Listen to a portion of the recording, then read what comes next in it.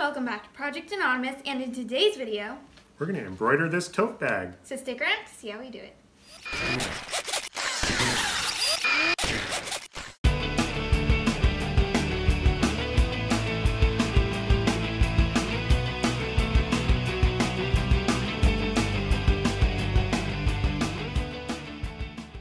So we wanted to do a project that utilized all of the different processes that we've learned uh, in the last few weeks, and that being applique, puff embroidery, the lettering GUI, all in one project. Mm -hmm. So we're going to design our tote bag logo thing.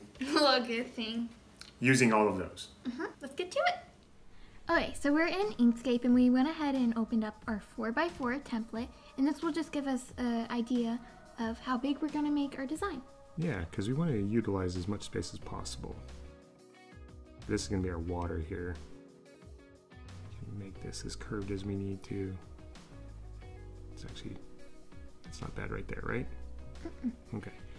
Now, let's add some waves.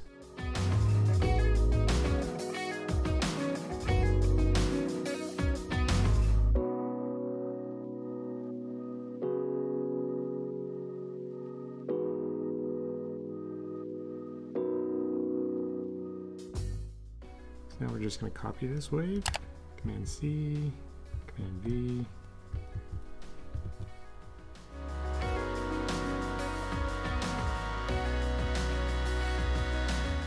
So now what we're going to do is we're going to select all of them and we're going to fill them with blue. Alright, it's going to be water. And then let's get rid, let's select all of them Get rid of the stroke. So this is what we want it to end up looking like with the applique. This would be our blue fabric on top of our tote bag. But right now, if we wanted to sew out the outline, it, here, we would just, we would end up with these kind of offset and then this would be underneath it and we don't want that. So what we need to do is join all of these shapes into a single shape. So what we're going to do is we're going to make sure they're all highlighted. We're going to go to Path, and then we're going to go to Union, and that will combine all the shapes. And now in my node view, you can see it's just the outline node. And I can go ahead and select a stroke now. And my stroke is just going to be the outside edge, which is exactly what I want. Okay? Mm -hmm. So the next thing, because this is going to be applique, it's going to be really in two layers, right? So our first layer, here I'm just going to do that. We want this to be a dashed line to lock down our applique material. So that's going to be layer one. This is going to be lock down our applique. So go ahead and open up our layers and we'll name this. what we can do is we can copy it Command C, Command V, and I can make this one a satin stitch.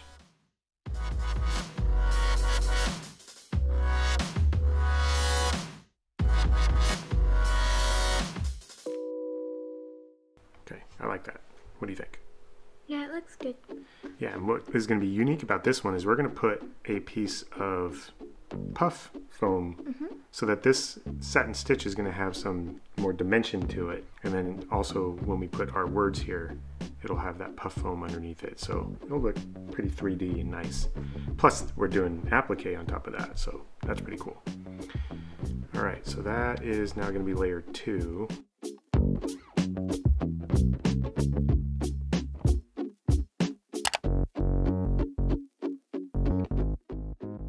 All right, so let's add some lettering. You want to use the GUI? Yeah, will give us a nice satin stitch. I really like the satin stitch look. Stitch and lettering. And we need like a nice beach font. so let's look through here. What were we gonna say? Beach. Beach. Vibes. Vibes. I like it.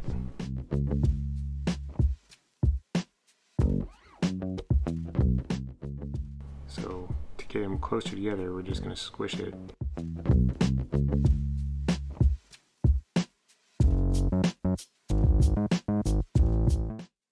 Alright, so this should be a nice bright color because it's going to be on blue, right?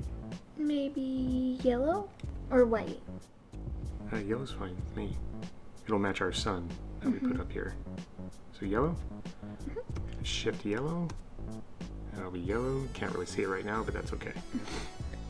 All right, so now you want to add a sun, right? Yes.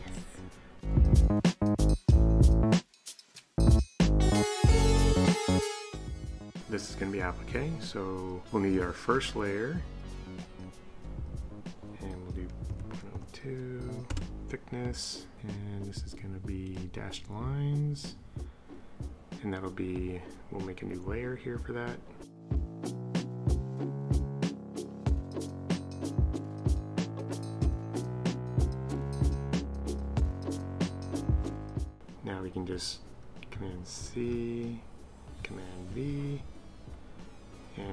Change the properties of this.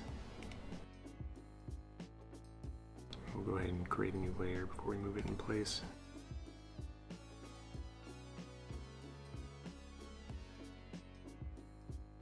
Alright, so now I get rid of my sun satin, that goes away, ocean satin, that goes away, ocean applique, sun applique. Cool. Alright, now I just move this in place.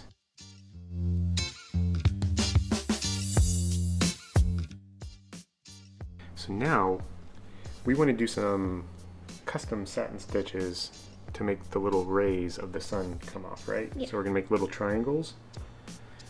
So we're going to just design it in black real quick because yellow would be really hard to see, but we are eventually going to turn it into yellow. So what we're going to do is we're going to make some railroad tracks. All we're doing here is we're letting the system know what direction to sew. So I'm putting three, um, not rails, these would be, well, these would be the tracks here and here. And then I'm putting three rails this way so it knows to stitch like this and then stop on each of these lines. So it's going to end up looking like a triangle. Right? So now what I need to do, and we'll test this out before we actually do anything else, but we're going to select each of these lines because we need to combine them. And then we're going to params to uh, select this shape as a custom satin stitch. So we're going to combine it. Go path combine or command K. Okay, and then let's go do a params check real quick.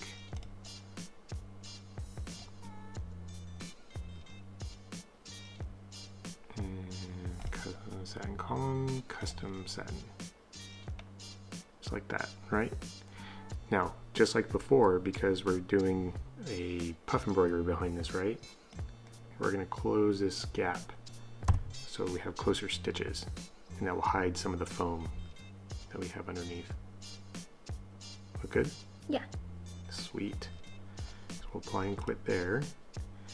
Copy and And- paste it. Exactly, and we just need to turn it to the orientation that we want, right? So Command C, Command V, and then we're gonna flip it. I'm actually gonna put these really close because it's gonna be yellow as well.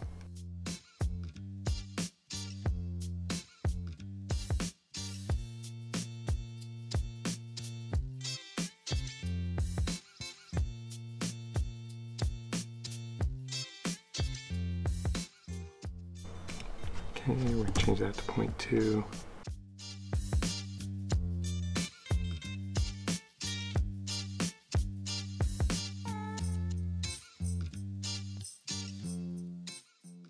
Okay, let's see what we got.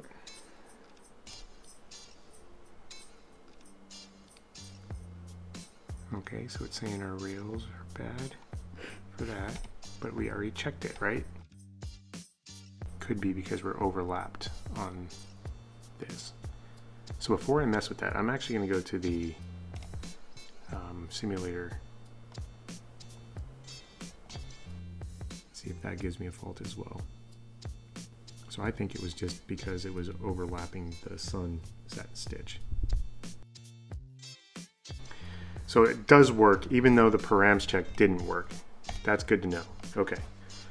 So few things we want to change first is we want to make sure all of our satin stitches are nice and um, tightly grouped together so that our puff embroidery underneath doesn't show through. So we'll go ahead and set that up in params for each one.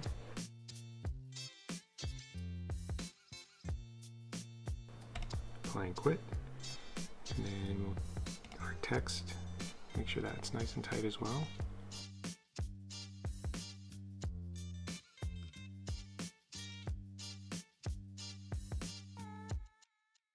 Now, so this is the cool thing we just learned, again, thanks to a commenter, we can set this up so that we don't have jump stitches. So we've never done this before. We didn't know about the command anyway. So in Inkstitch, if you go to commands, you can add commands to selected objects. We're gonna click on that and we can click on this trim thread after sewing this object so that we're not going to have jump stitches in between. Pretty neat, huh? Yeah. I had no idea this existed in here. So we're going to hit apply. But you can see it, it will show you, hey, we after you do this object, it's going to cut it and then move on to the next thing, which is exactly what we want. So they all have little cut things after the command. It's going to be super helpful in text. Mm -hmm. And we're not going to have to cut, you know, a bunch of jump stitches between the text anymore. So no more jump stitches. Woo! So let's see what this looks like now in our preview.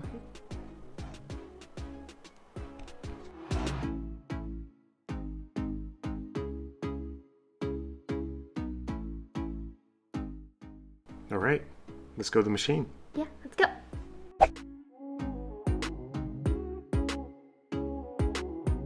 So I realize this is kind of confusing because it didn't really show much on the computer design, but what we're actually gonna do is we're gonna lay this down and we're going to lock down the fabric, cut it out, applique, right? And then we're gonna put down some puff foam and put that on top of our applique and do the satin stitch on top of that so that our satin stitch around our applique is more three-dimensional. And then we'll have, for our letters, another piece and do beach vibes in yellow. So that'll be three-dimensional. And then we'll move on to our applique sun, which will be up in this corner. So that the applique, cut it out, put a piece of foam down, and then our sun will have the satin stitch around here in yellow, as well as that custom satin stitch for the triangle, the rays.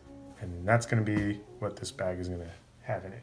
Sounds cool. Yeah, there's a lot to it, huh? Yeah, a lot of work. Yes, so let's get started. It's tricky getting as close as possible so that your satin edge or satin stitch covers the edge. Yep. So the next part is we're just going to lay this over and do our satin stitch on top.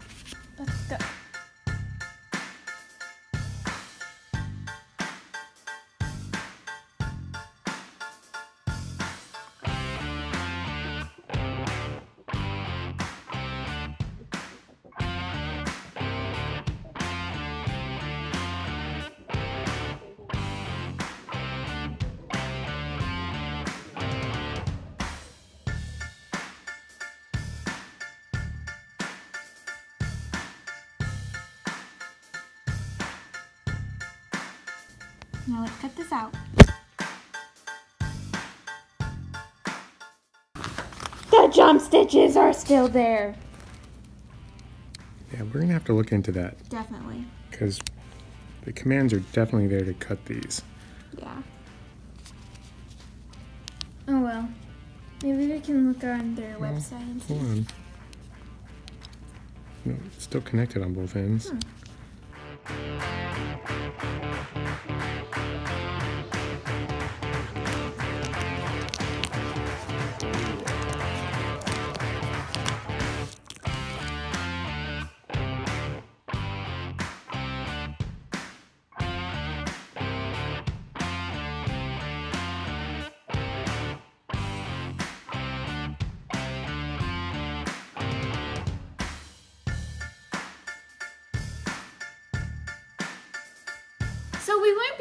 To do any of the things we've done in this video without your guys' help. Your comments really have helped, like, um, Point us in the right direction. yeah.